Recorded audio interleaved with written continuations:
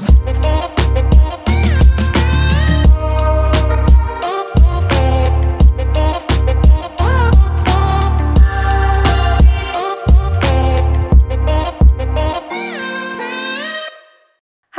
Sobat IMC di mana pun Anda berada, senang sekali saya bisa menyapa kembali di YouTube series Cek Fakta Reproduksi Perempuan. Dan kali ini tentunya masih bersama dengan Dr. Caroline Tirta Jasa SPOGK yang merupakan dokter spesialis kebidanan dan kandungan konsultan dengan subspesialis fertility dan juga hormon reproduksi. Dan beliau juga merupakan ahli bedah laparoskopi dari Rumah Sakit IMC Pulau Mas. Hai dokter. Halo Pi. Senang sekali bisa bertemu lagi sama dokter dan ngobrol-ngobrol. Iya. Kali ini kita akan main sedikit games mitos dan fakta, Dok, Iya, dari kesuburan betul. gitu. Uh-uh. Jadi nanti aku akan uh, memberikan sebuah narasi, dokter tinggal jawab itu mitos atau fakta dengan penjelasannya. Iya. Setuju ya, Dok ya? Betul. Oke, mitos dan fakta yang pertama. Mitos atau fakta nih, Dok.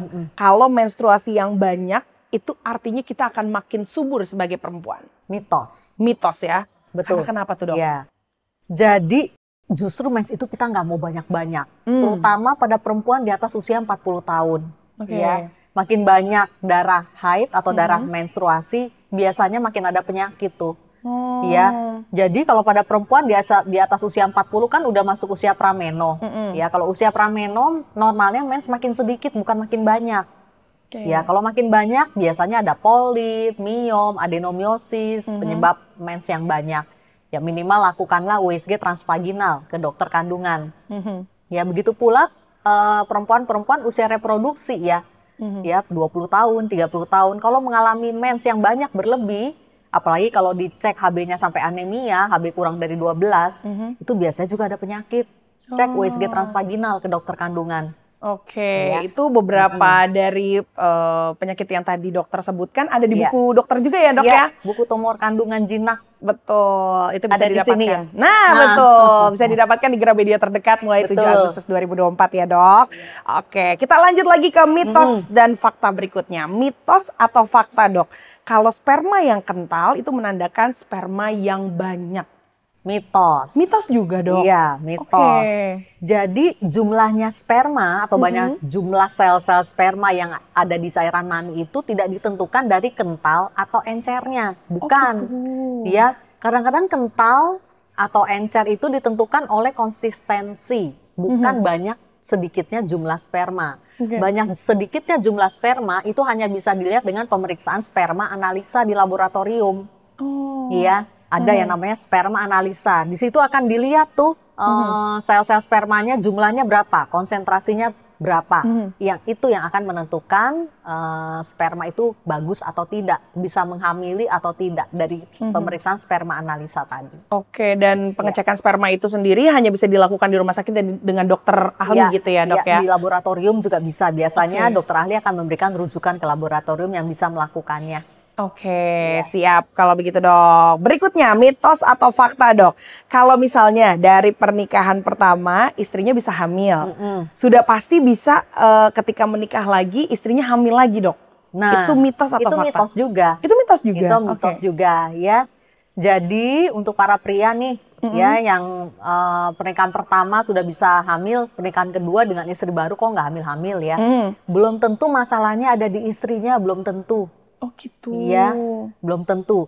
Jadi makanya itu pemeriksaan dasar fertility itu untuk suami istri, nggak istrinya aja atau suaminya aja. Hmm. Ya, jadi untuk sebuah kehamilan perlu dua orang ini berkontribusi. 50% pihak pria, 50% pihak perempuan.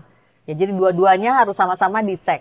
Karena sperma ini dengan berjalannya waktu juga terus turun kualitas dan kuantitasnya. Oh. Ya, paparan polutan lingkungan kan makin banyak nih. Asap rokok, kendaraan bermotor, mikroplastik, ya belum junk food dan yang lain-lainnya itu menyebabkan juga penurunan kualitas dan kuantitas sperma. Hmm. Karena itu ada juga yang kita sebut infertilitas sekunder. Ingat ya waktu kita Oke. bahas infertilitas di episode 7. Mm-mm. Kok saya tidak hamil-hamil? Hmm. Ya infertilitas sekunder. Jadi hamil anak pertama dengan suami istri yang sama nih ya. Hamil anak pertama gampang ya, begitu menikah langsung hamil. Tapi mau hamil anak kedua kok susah banget gitu ya. Nggak hamil-hamil gitu sampai bertahun-tahun. Infertilitas sekunder. Perlakuannya sama seperti infertilitas primer, lakukan juga pemeriksaan dasar fertility-nya dan jalani promil. Oke, seperti itu ya. Lagi dan lagi harus ke dokter ahli untuk mengetahui Ya, lebih lengkapnya Betul. seperti Dokter apa. ahli fertility. Nah, itu dia Ah. dokter ahli fertility. Jadi untuk proses dan program kehamilannya pun akan tetap dilihat perkembangannya gitu ya, Ya, lebih dok ya. fokus dan terarah promilnya. Nah, itu Ya. dia. Oke, mitos dan fakta berikutnya, Dok. Mitos atau fakta? Semua pemeriksaan dikatakan normal itu pasti bisa hamil alami. Nah, itu mitos juga. Mitos juga, Dok. Ya, karena pemeriksaan dasar fertility yang ada sekarang, Hmm. HSG, sperma, hormon, itu paling hanya mencakup 70% penyebab infertilitas atau sulit hamil. Mm-mm. 20 persennya faktor X. Karena itu 20 persen dari keseluruhan kasus infertilitas kita sebut unexplained infertility. Hmm. Infertilitas yang tidak terjelaskan. Ada videonya di YouTube channel saya tentang unexplained infertility ini. Mhm. Ya.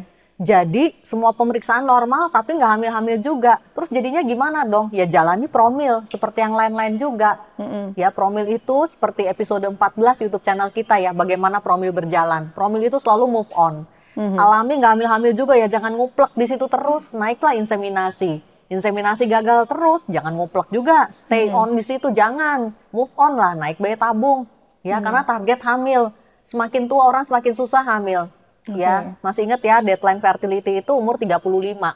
Ya, di atas 35 tahun, ya kesuburan akan makin turun. Mhm. Ya, angka keberhasilan program hamil juga makin turun di atas usia perempuan di atas 35 tahun. Ya, karena itu kalau bisa sebelum 35 tahun sudah selesai urusan hamil dan melahirkan. Nah, seperti itu ya, Dok. Oke, berikutnya lagi, Dok. Mitos atau fakta? Kalau misalnya habis berhubungan suami istri, ceboknya tidak boleh pakai sabun, Dok. Itu juga mitos. Oh, itu juga mitos. Itu juga mitos. Mm-mm. Ya. Cek posisi hubungan di YouTube channel saya. Judulnya itu posisi hubungan, ya. Jadi kebersihan organ kemaluan, ya baik perempuan maupun laki-laki tetap harus dijaga.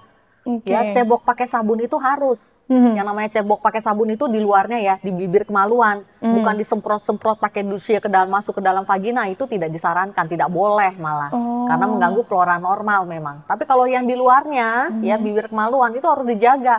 Oh. Apalagi di daerah lipatan tuh antara bibir besar dengan bibir kecil. Perempuan kan ada dua bibir, ada lipatan di tengahnya. Itu sering ngumpul kotoran. Itu harus tetap disabuni meskipun habis hubungan. Hmm. Ya, kan eh, habis hubungan kan pantat diganjel setengah jam aja supaya sperma masuk. Mhm. Kalau Anda berdiri ya pasti akan keluar sisa-sisa cairan mani. Tapi asumsinya sperma udah masuk semua. Jadi nggak apa-apa, ceboklah dengan air sabun. Karena apa?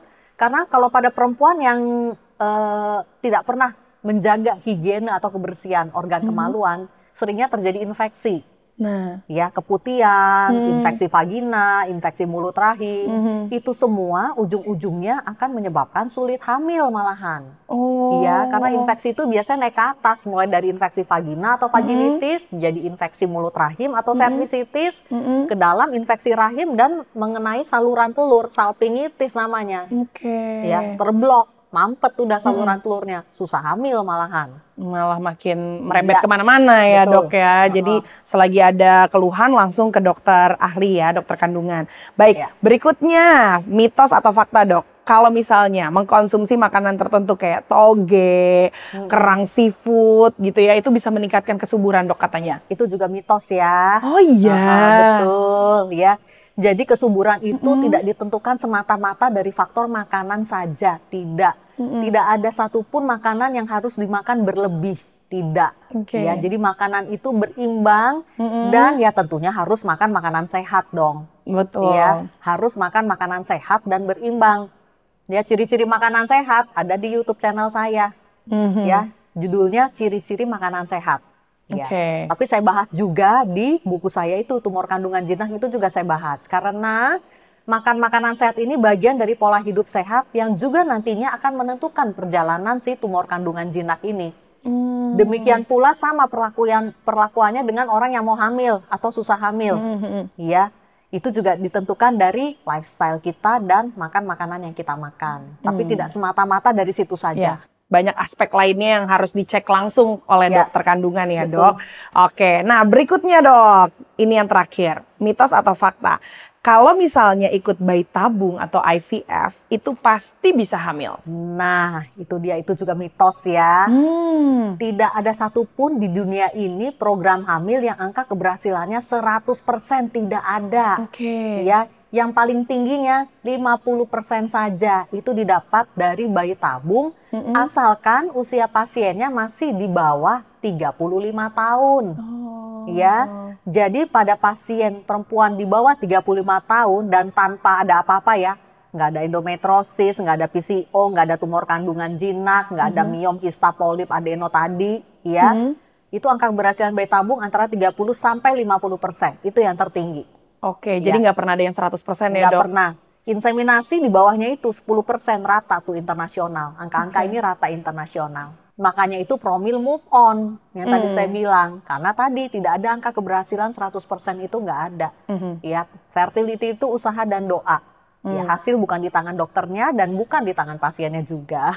Oke, tapi tetap harus ada usaha dari kita ya dok Harus. sebagai pasien Harus, ya. betul. Baik, seperti itu dok. Wah ternyata banyak banget mitos di luaran sana Iya. yang ternyata salah nih ya, salah kaprah di masyarakat. Jadi Iya. buat eh, sobat IMC mungkin yang masih bingung-bingung mau tanya-tanya langsung, mungkin bisa main ke rumah sakit IMC Pulau Mas ketemu sama dokter Caroline biar bisa tanya langsung apakah itu mitos atau fakta ya. Betul. Baik, terima kasih banyak dokter Caroline Sama-sama, untuk waktunya kali ini. Dan itu dia tadi YouTube series Cek Fakta Reproduksi Perempuan di episode kali ini. Dan untuk lebih jelasnya lagi tentang episode-episode sebelumnya bisa Anda saksikan di YouTube dari Rumah Sakit IMC. Dan jangan lupa juga untuk cek langsung sosial media dari dokter Caroline yang sudah ditampilkan di layar. Terima kasih banyak sudah menonton dan sampai berjumpa lagi di episode-episode berikutnya.